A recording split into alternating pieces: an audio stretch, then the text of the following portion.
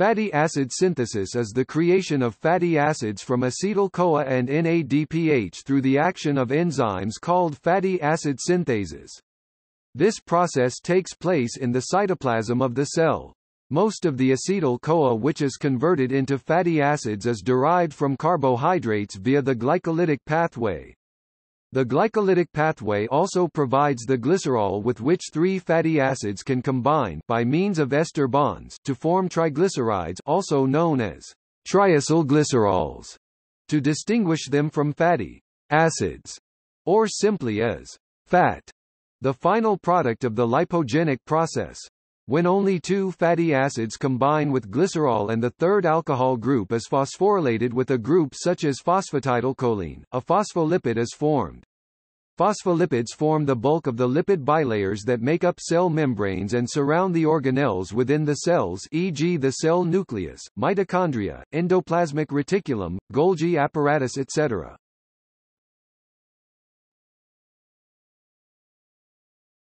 Topic: Straight-chain fatty acids Straight-chain fatty acids occur in two types, saturated and unsaturated.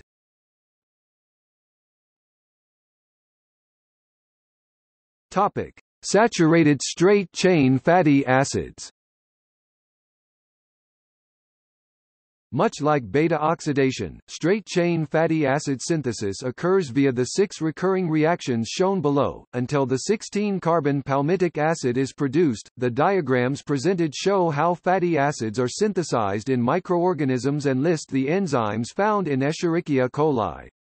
These reactions are performed by fatty acid synthase 2 FASII, which in general contain multiple enzymes that act as one complex. FASII is present in prokaryotes, plants, fungi, and parasites, as well as in mitochondria, in animals, as well as some fungi such as yeast. These same reactions occur on fatty acid synthase I FASI, a large dimeric protein that has all of the enzymatic activities required to create a fatty acid.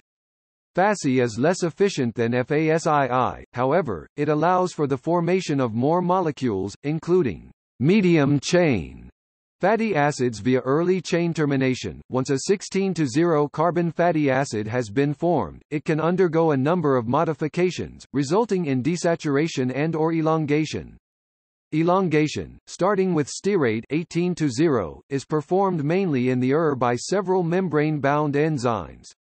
The enzymatic steps involved in the elongation process are principally the same as those carried out by FAS, but the four principal successive steps of the elongation are performed by individual proteins, which may be physically associated. Note that during fatty synthesis the reducing agent is NADPH, whereas NAD is the oxidizing agent in beta oxidation, the breakdown of fatty acids to acetyl-CoA. This difference exemplifies a general principle that NADPH is consumed during biosynthetic reactions, whereas NADH is generated in energy-yielding reactions. Thus NADPH is also required for the synthesis of cholesterol from acetyl-CoA, while NADH is generated during glycolysis. The source of the NADPH is twofold. When malate is oxidatively decarboxylated by NADP plus linked malic enzyme. To form pyruvate, CO2 and NADPH are formed. NADPH is also formed by the pentose phosphate pathway which converts glucose into ribose, which can be used in synthesis of nucleotides and nucleic acids, or it can be catabolized to pyruvate.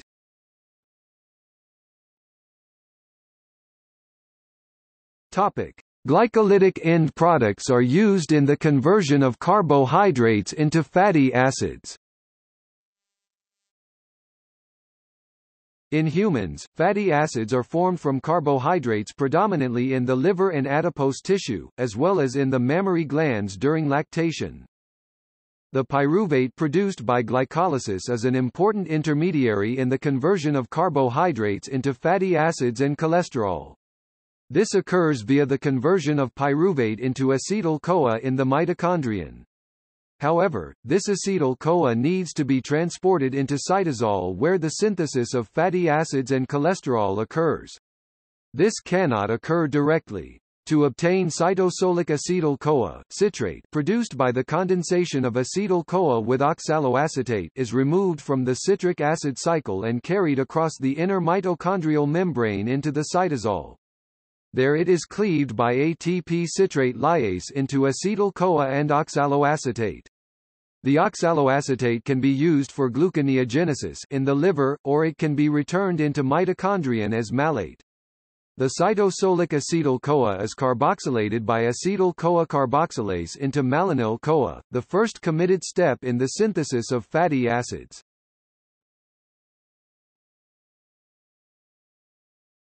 Topic: Animals cannot resynthesize carbohydrates from fatty acids. The main fuel stored in the bodies of animals is fat. A young adult human's fat stores average between about 10 to 20 kilograms, but varies greatly depending on age, gender, and individual disposition. In contrast, the human body stores only about 400 grams of glycogen, of which 300 grams is locked inside the skeletal muscles and is unavailable to the body as a whole. The 100 grams or so of glycogen stored in the liver is depleted within one day of starvation. Thereafter the glucose that is released into the blood by the liver for general use by the body tissues, has to be synthesized from the glucogenic amino acids and a few other gluconeogenic substrates, which do not include fatty acids. Fatty acids are broken down to acetyl-CoA by means of beta-oxidation inside the mitochondria, whereas fatty acids are synthesized from acetyl-CoA outside the mitochondrion, in the cytosol. The two pathways are distinct, not only in where they occur, but also in the reactions that occur, and the substrates that are used. The two pathways are mutually inhibitory, preventing the acetyl-CoA produced by beta-oxidation from entering the synthetic pathway via the acetyl-CoA carboxylase reaction. It can also not be converted to pyruvate as the pyruvate decarboxylation reaction is irreversible. Instead it condenses with oxaloacetate, to enter the citric acid cycle. During each turn of the cycle, two carbon atoms leave the cycle as CO2 in the decarboxylation reactions catalyzed by isocitrate dehydrogenase and alpha-ketoglutarate dehydrogenase. Thus each turn of the citric acid cycle oxidizes an acetyl-CoA unit while regenerating the oxaloacetate molecule with which the acetyl-CoA had originally combined to form citric acid. The decarboxylation reactions occur before malate is formed in the cycle. This is the only substance that can be removed from the mitochondrion to enter the gluconeogenic pathway to form glucose or glycogen in the liver or any other tissue. There can therefore be no net conversion of fatty acids into glucose. Only plants possess the enzymes to convert acetyl-CoA into oxaloacetate from which malate can be formed to ultimately be converted to glucose. Regulation Acetyl-CoA is formed into malonyl-CoA by acetyl-CoA carboxylase, at which point malonyl-CoA is destined to feed into the fatty acid synthesis pathway. Acetyl-CoA carboxylase is the point of regulation in saturated straight-chain fatty acid synthesis, and is subject to both phosphorylation and allosteric regulation. Regulation by phosphorylation occurs mostly in mammals, while allosteric regulation occurs in most organisms. Allosteric control occurs as feedback inhibition by palmitoyl-CoA and activation by citrate. When there are high levels of palmitoyl-CoA, the final product of saturated fatty acid synthesis, it allosterically inactivates acetyl-CoA carboxylase to prevent a buildup of fatty acids in cells. Citrate acts to activate acetyl-CoA carboxylase under high levels, because high levels indicate that there is enough acetyl-CoA to feed into the Krebs cycle and conserve energy. High plasma levels of insulin in the blood plasma e.g. after meals cause the dephosphorylation of acetyl-CoA carboxylase, thus promoting the formation of malonyl-CoA from acetyl-CoA, and consequently the conversion of carbohydrates into fatty acids, while epinephrine and glucagon released into the blood during starvation and exercise cause the phosphorylation of this enzyme, inhibiting lipogenesis in favor of fatty acid oxidation via beta oxidation.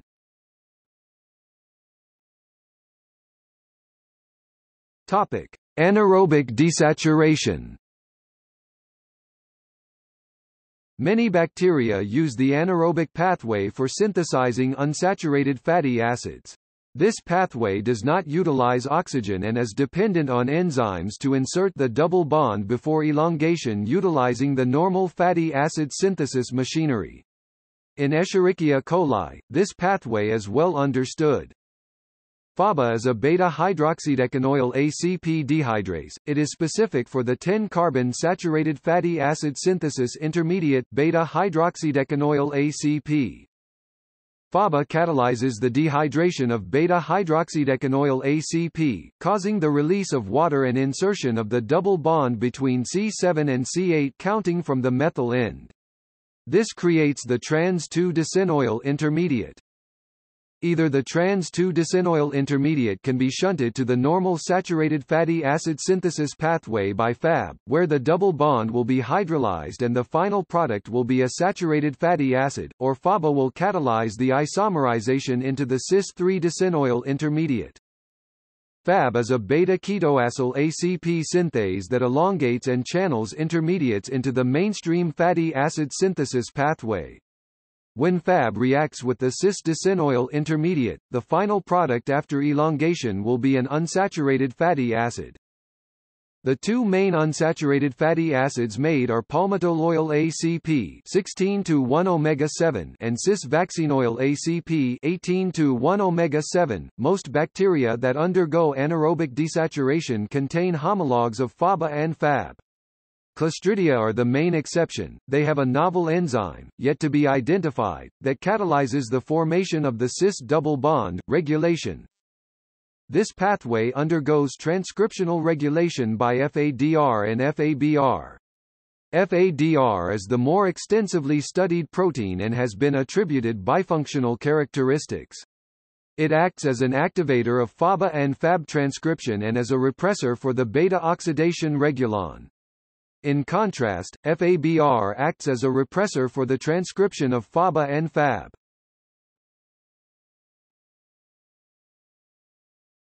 Topic: Aerobic desaturation.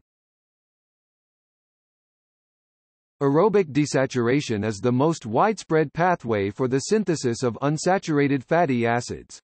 It is utilized in all eukaryotes and some prokaryotes. This pathway utilizes desaturases to synthesize unsaturated fatty acids from full-length saturated fatty acid substrates. All desaturases require oxygen and ultimately consume NADH even though desaturation is an oxidative process. Desaturases are specific for the double bond they induce in the substrate. In Bacillus subtilis, the desaturase, delta-5-DE, is specific for inducing a cis double bond at the delta-5 position. Saccharomyces cerevisiae contains one desaturase, OL1P, which induces the cis double bond at delta 9. In mammals, the aerobic desaturation is catalyzed by a complex of three membrane-bound enzymes: NADH cytochrome B5 reductase, cytochrome B5, and a desaturase. These enzymes allow molecular oxygen, O2, to interact with the saturated fatty acyl-CoA chain, forming a double bond and two molecules of water, H2O. Two electrons come from NADH plus H plus and two from the single bond in the fatty acid chain. These mammalian enzymes are, however, incapable of introducing double bonds at carbon atoms beyond C9 in the fatty acid chain, hence mammals cannot synthesize linoleate or linolenate which have double bonds at the C12 equals delta 12 or the C12 and C15 equals delta 12 and delta 15 positions respectively, as well as at the delta 9 position, nor the polyunsaturated 20 carbon arachidonic acid that is derived from linoleate. These are all termed essential fatty acids, meaning that they are required by the organism, but can only be supplied via the diet. Arachidonic acid is the precursor the prostaglandins which fulfill a wide variety of functions as local hormones, regulation. In B. subtilis, this pathway is regulated by a two-component system, DESK and DESR. DESK is a membrane-associated kinase and DESR is a transcriptional regulator of the DE gene. The regulation responds to temperature. When there is a drop in temperature, this gene is upregulated. Unsaturated fatty acids increase the fluidity of the membrane and stabilize it under lower temperatures. DESK is the sensor protein that, when there is a decrease in temperature, will autophosphorylate. DESK-P will transfer its phosphoryl group to DESR. Two DESRP proteins will dimerize and bind to the DNA promoters of the day gene and recruit RNA polymerase to begin transcription. Pseudomonas aeruginosa, in general, both anaerobic and aerobic unsaturated fatty acid synthesis will not occur within the same system, however Pseudomonas aeruginosa and Vibrio abe-1 are exceptions. While P. aeruginosa undergoes primarily anaerobic desaturation, it also undergoes two aerobic pathways. One pathway utilizes a delta-9 desaturase DESA that catalyzes a double bond formation in membrane lipids. Another pathway uses two proteins, DESC and DESB, together to act as a delta-9 desaturase, which inserts a double bond into a saturated fatty acid CoA molecule. This second pathway is regulated by repressor protein DEST. DEST is also a repressor of Fabab expression for anaerobic desaturation when in presence of exogenous unsaturated fatty acids. This functions to coordinate the expression of the two pathways within the organism.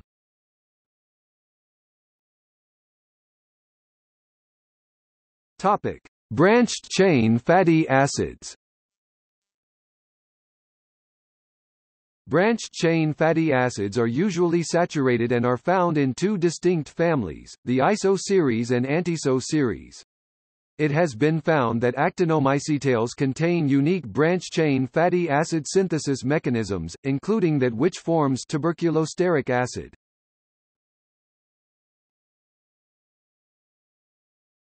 Topic: Branch-chain fatty acid synthesizing system. The branched-chain fatty acid synthesizing system uses alpha-keto acids as primers. This system is distinct from the branched-chain fatty acid synthetase that utilizes short-chain acyl-CoA esters as primers. Alpha-keto acid primers are derived from the transamination and decarboxylation of valine, leucine, and isoleucine to form 2-methylpropanol-CoA, 3-methylbutyryl-CoA, and 2-methylbutyryl-CoA, respectively.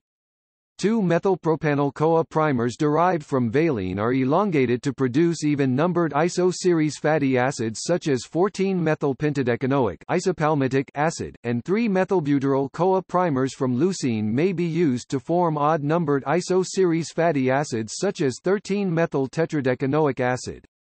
Two methylbutyryl-CoA primers from isoleucine are elongated to form anteiso series fatty acids containing an odd number of carbon atoms such as 12-methyl-tetradecanoic acid. Decarboxylation of the primer precursors occurs through the branched chain alpha-keto acid decarboxylase BCKA enzyme. Elongation of the fatty acid follows the same biosynthetic pathway in Escherichia coli used to produce straight-chain fatty acids where malonyl-CoA is used as a chain extender. The major end products are 12 to 17 carbon branched chain fatty acids and their composition tends to be uniform and characteristic for many bacterial species. BCKA decarboxylase and relative activities of alpha-keto acid substrates, the BCKA decarboxylase enzyme is composed of two subunits in a tetrameric structure A2B2 and is essential for the synthesis of branched-chain fatty acids. It is responsible for the decarboxylation of alpha-keto acids formed by the transamination of valine, leucine, and isoleucine and produces the primers used for branched-chain fatty acid synthesis. The activity of this enzyme is much higher with branched-chain alpha-keto acid substrates than with straight-chain substrates, and in Bacillus species its specificity is highest for the isoleucine-derived alpha-keto beta-methylvaleric acid, followed by alpha-ketoisocaproate and alpha-ketoisovalerate. The enzyme's high affinity toward branched-chain alpha-keto acids allows it to function as the primer donating system for branched-chain fatty acid synthetase. Factors affecting chain length and pattern distribution Alpha-keto acid primers are used to produce branched-chain fatty acids that, in general, are between 12 and 17 carbons in length. The proportions of these branched-chain fatty acids tend to be uniform and consistent among a particular bacterial species but may be altered due to changes in malonyl-CoA concentration, temperature, or heat-stable factors HSF present. All of these factors may affect chain length, and HSFs have been demonstrated to alter the specificity of BCKA decarboxylase for a particular alpha-keto acid substrate, thus shifting the ratio of branched-chain fatty acids produced. An increase in malonyl-CoA concentration has been shown to result in a larger proportion of C17 fatty acids produced, up until the optimal concentration approximately equals 20 μm of malonyl-CoA is reached. Decreased temperatures also tend to shift the fatty acid distribution slightly toward C17 fatty acids in Bacillus species.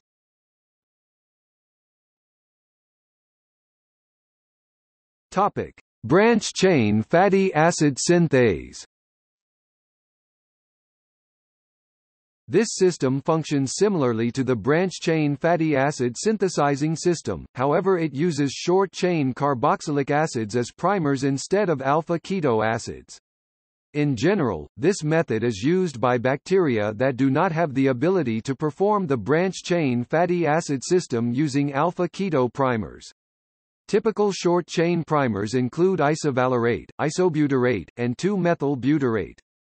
In general, the acids needed for these primers are taken up from the environment. This is often seen in ruminal bacteria. The overall reaction is Isobutyryl CoA plus 6 malonyl CoA plus 1 2 NADPH plus 12 H plus isopalmitic acid plus 6 Colorado 212 NADP plus 5 H2O plus 7 Co. difference between straight chain fatty acid synthase and branch chain fatty acid synthase is substrate specificity of the enzyme that catalyzes the reaction of acyl CoA to acyl ACP.